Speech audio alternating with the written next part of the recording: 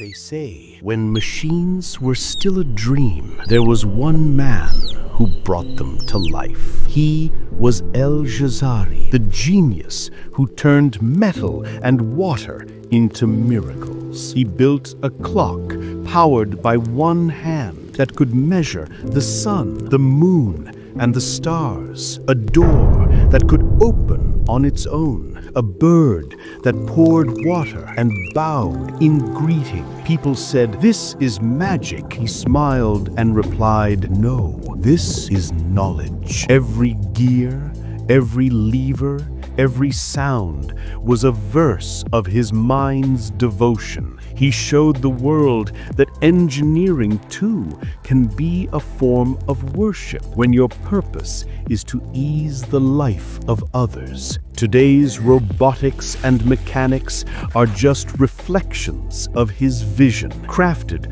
over 12 centuries ago. And sometimes a prayer is as simple as this. O Creator, bless me with a mind that brings me closer to you.